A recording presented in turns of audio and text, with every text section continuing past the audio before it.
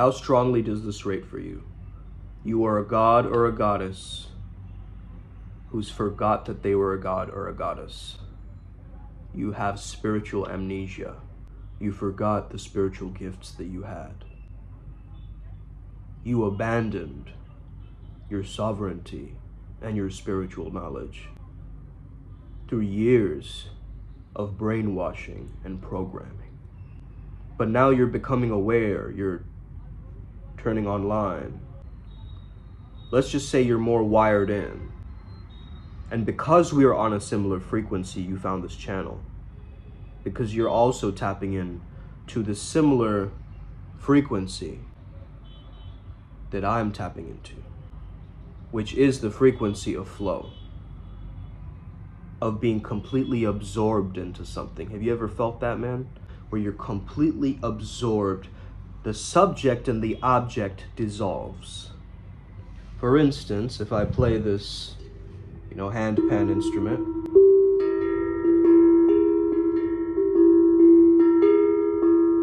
understand that after a while, if I truly let go into this,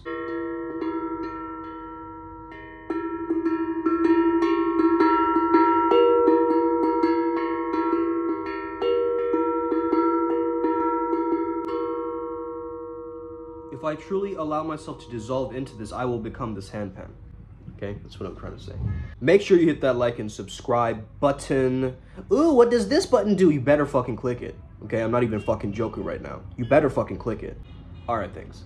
So recently I was asked a question around the five parts of the soul and what the ancient Egyptians believed, okay? Let's start with a little bit of context before that. All right, so I want to just clarify something right away. Someone said the profile picture of a dinosaur, okay? That is not a dinosaur, my friend, okay? I'm not a prehistoric being, though I probably have been at a certain point in time, but we don't know that. Can't confirm that with data science, so whatever. I am, however, connected to the spirit or the essence of the Makara. Okay? The Makara is a sea monster of the Vedas. So understand, he's the gatekeeper. He's the one that holds the key, the wisdom, and helps the gods to travel. That's my role in the spiritual world.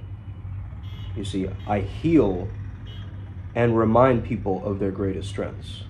So the ancient Egyptians believed in using natural laws. They had a lot of medical texts with spells in them, charms in them. There were women who were like seers that could even conceive when a woman was giving birth and things like this, okay?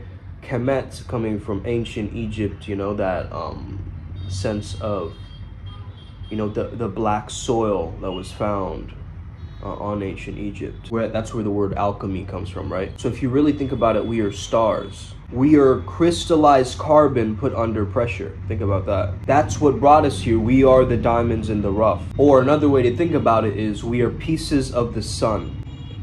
We think we're sons and daughters of the earth, but we're actually more so seekers and children of the sun. I'm just revealing some of the deep insights. And again, this is coming from my own filter, right? Of me as a shaman. So already understand that. This is my understanding of it.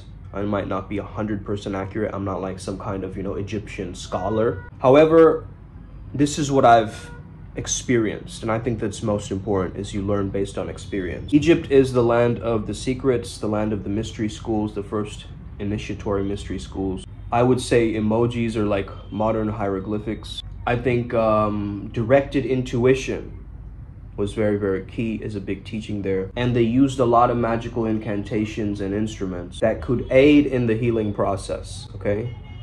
They used protective amulets, for instance, to ward off evil spirits. The greatest aim of the mystery school was to attain higher consciousness. Everything else was a waste of time. That's what we choose to focus on in Primal Sutra.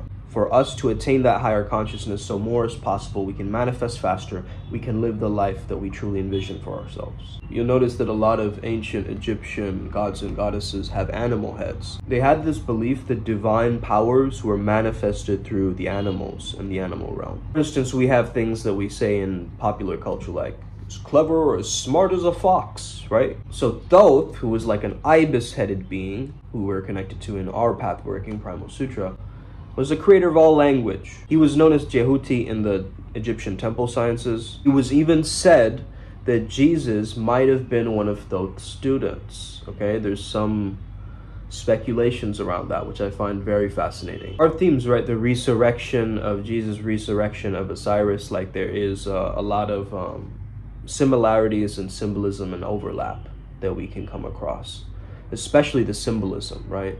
I once came across this uh, hieroglyphic that was basically saying that you can turn into a snake in the afterlife, and I thought about that. I was like, hmm but I am a snake in this life and, and every lifetime, you know what I mean? Not a snake snake, but like a naga, you know what I mean? Uh, which is like the Indian um, serpentine beings, let's just say half serpent, half human. And so my human side, of course, has a lot of compassion and so forth. But my naga side is just like, hey, let's go. Enough is enough. You're ready to evolve. Okay, it's that, right? So the naga side of my brain has like this very looming um, dark energy, right? And then I have a lighter side of my beingness that is very graceful, very easy going, very effortless, very light, very expansive, right? Like abundance would be the other one. I'm still finding out ways to interpret this data into my physical beingness and into my material world because that's really what they were doing. They were manifestors, okay? When they said lead into gold, I mean, essentially they were saying, how can we materialize this? This idea, right? This concept, how can we materialize this into the physical plane? So here's another interesting thing mummification. You would mummify these pharaohs so that they could be recognized in the afterlife yeah it's it's just a very interesting idea or concept right i think that everybody has their own you know beliefs and religious belief and but i think that actually honestly guys i think religious pride is what is a lot of downfall okay? When you're saying my way is the only way it's the only answer that causes a lot of world wars and crusades and you know religious wars and so forth. And so that's why like as an omnist i believe that is the true path because it is like you know you're you're finding a shred of truth in everything and you're not like agnostic or whatever, you're not choosing to like take your hands off of the wheel of this spiritual process, you're becoming more connected through you being more spiritual. What does that mean though? Just to be conscious, more connected into your waking life. Like a giant amphitheater being projected from your conscious, like ajna point, right? It's just projecting outwards and bringing in all the blessings and dismantling all the curses. So let's talk about the five dimensions of the soul, okay? In Egyptian magic. I want to mention this particular being's name that we've come across, which is Heka. Some uh, also spell it as Haik. Heka is the personification of magic itself. Okay, so start to understand that. The simplest concept to understand is Ren, number one. And this is literally your name. Okay? If you change your name, you change your soul. A part of it, one fifth of it. You get that? So if you determine your name, yes, I was given a parental name, right, that my parents ascribed to me, perhaps from a monk lineage, Sumedho, the, the Buddhist monk, or, you know, Ajahn Sumedho.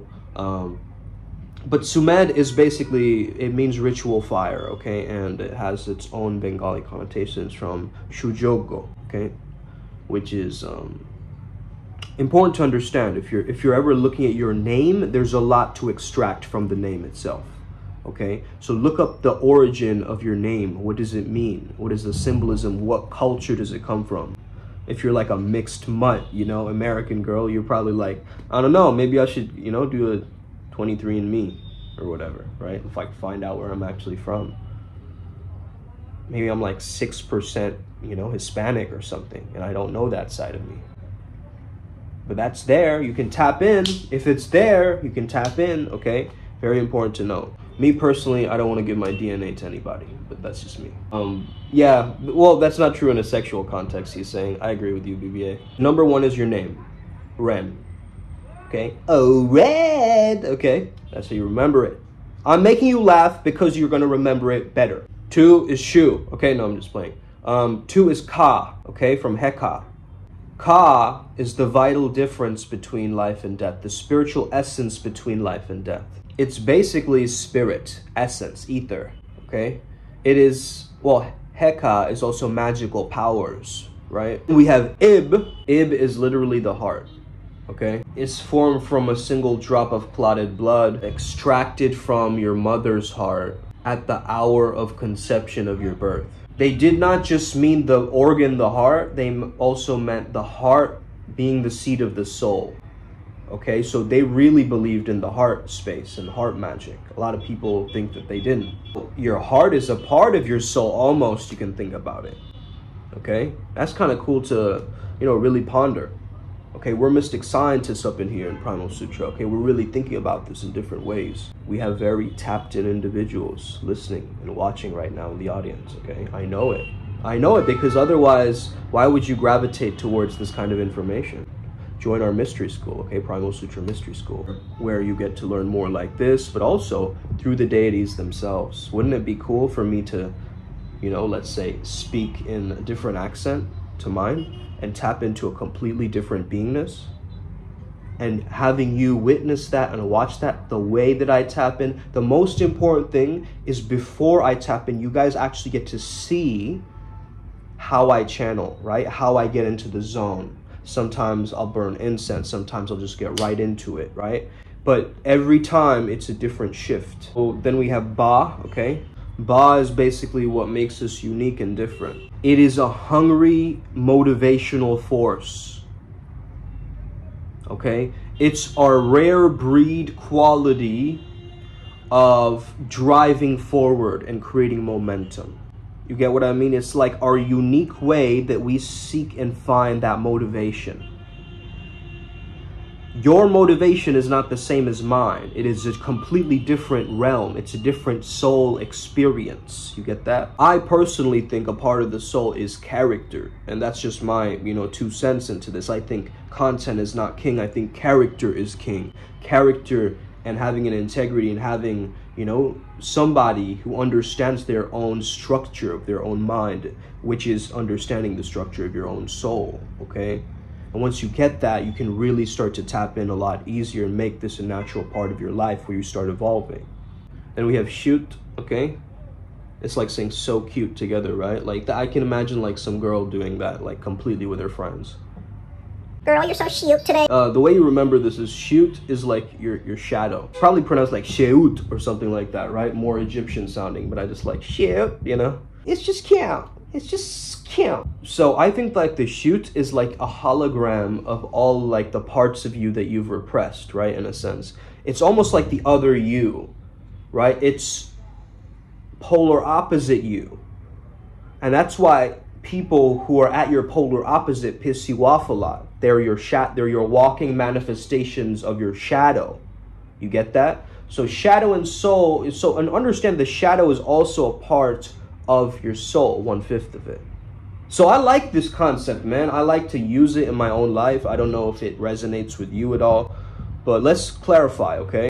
Ren is name, Ka is like essence or energy, Ib is the heart, Ba is our elemental unique force, and Shoot is your shadow. Ah, okay, the Primal Sutra deities are saying something now. They're basically saying an animal is very different when and this is from the uh, Egyptian teachings, they're saying. An animal behaves very differently if they're, let's say, nocturnal and so forth, right? So let's say that you are an animal who is during the day, you're performing in a certain way. You'll notice when the, by the time nighttime hits, you behave, you start behaving very differently. According to that, you can understand whether you're more so a light being, a dark being, and so forth, okay? Also, let's say that you're a blackbird in the light, and as it gets nighttime, or you go more into your darkness, which is what? Going into your shadow or your subconscious mind, you completely alter your personality, right? So that personality shift is also you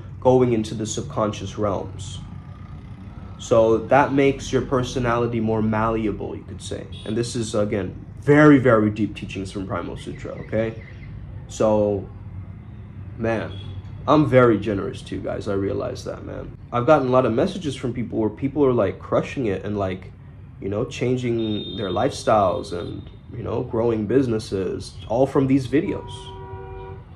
Like, that's fantastic. That's what I want to hear and that's what I want to see, man okay? Whatever my uh, net amount is worth online doesn't mean shit to me okay? I mean think about it. I was born on the 26th 8 that's wealth you know? Bound to happen. Boom. And that reminds me i have to pay a phone bill for a thousand dollars or so. Do you guys get that? You guys i'm not obsessed with talking to people on the phone okay? That's not how it happened. When i went to costa rica i set up a, a phone plan with this thing uh, Vodafone or whatever. And I turned it on, right? And by the time I get back, I realize it's not even working. It's not even turned on or whatever. And um, yeah, and they charged me like 77,000 something rupees. So now I have to go pay that. So, you know, that's a bit of a enemy year problem, right? like, right? Like, uh, if you guys know about the Chinese zodiac and enemy year, right? But anyway, um, besides that point, I'm gonna win regardless of these little minor setbacks. Is a minor setback, bro. Bro, I don't want to admit this to myself because it sounds very cocky. Okay, it sounds very cocky to speak about yourself like this. But I really envision myself as being some kind of a genius, okay? Not in the sense of an IQ test, not like that, but I'm a genius in the sense I'm creating something that's never been done. And uh, we're really going here we're really figuring it out. We're figuring out the secrets of raising your consciousness level. And um, as you can start doing that, we can almost put people in these echo chambers. That's my vision, at least, as we start to assist people's awakenings, you know, really help them out because it's a really rough time when you know your whole identity is dissolving and you don't know what to do you can't let go and it's tough to let go you know but that loss is what's keeping you stuck. Let me tell you, man. Because loss, guess what? Loss is scarcity. You get that? And that goes way deeper. That comment goes way deeper, you know, than I've ever meant it to be. And maybe some of you sense that. You know, when the Buddha came in and taught Zen, right? Through just a flower. And so some person got that teaching, right? That was the beginning of Zen wisdom or whatever that's kind of my presence is is through these videos some people are going to understand the essence the vibe okay? The flower. Some people are going to get the flower teachings and other people are going to ignore this video you know? Skim past it. Yeah what, what do i need to know about the dimensions of the soul for you know? Let me have kfc in it you know? I have a butler outside I have my toenails waxed or whatever, you know? Get out of here, you bozo. Anyway, have an incredible day. May the flow be with you and stay legendary. We're all gonna win. We're gonna take over. Trust. Primal Sutra. Let's get it.